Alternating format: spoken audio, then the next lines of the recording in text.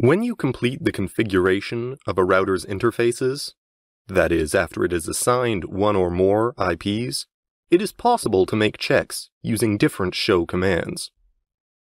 The show IP interface brief command shows the router's interface list and their states. The interface column shows the type of interface and its location. The IP address column shows its IP if it is configured. In the column OK, if there's a yes, it's because the IP is valid, and if it's a no, it's because the IP is not good. The method column shows how the IP address was configured. The status column shows the status of the interface. If it's up, it's because it's active. If it's down, it's out of, out of service. And if it says administratively down, it's because it was manually disabled by a network admin with the shutdown command. And the protocol column shows the status of the routing protocol. Either it's up or it's down. Let's move on to the Show Interfaces command. This command allows you to see the details of each interface, or one in particular if you add the name of the interface right after the command. Here you can see the status of the hardware interface, whether it is up, down, or if a network administrator has volunteered to disable it. Line Protocol indicates whether the protocol considers the interface to be alive. The hardware line shows the type of interface and its MAC address. The words description displays what the network admin has configured as a description on the interface.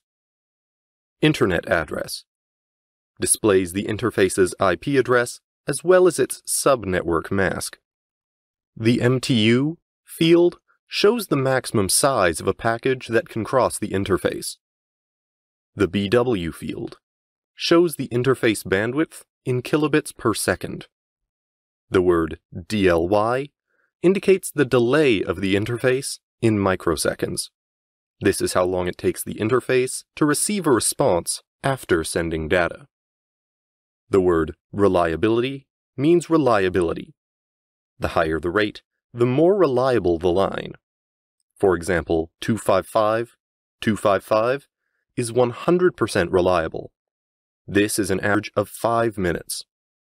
The load indicates the load of the link.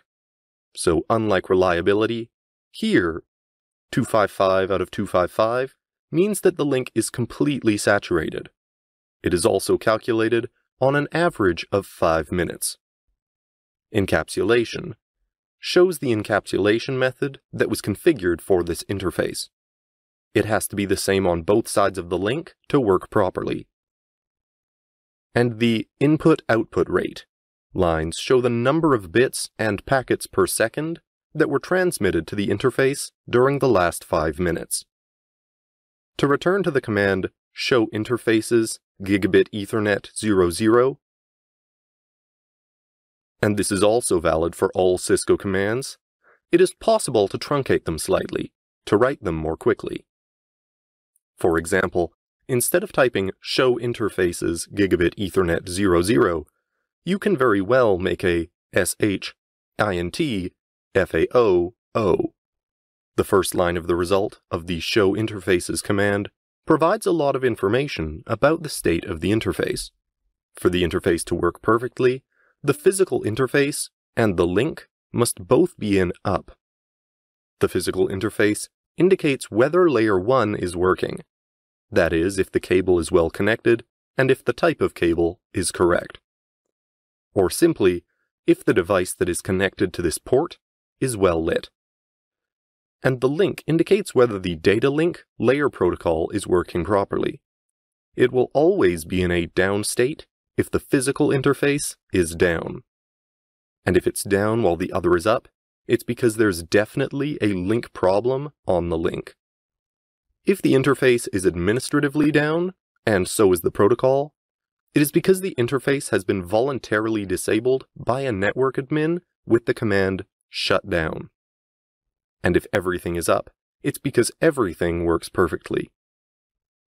These four possible combinations are very useful in troubleshooting a network.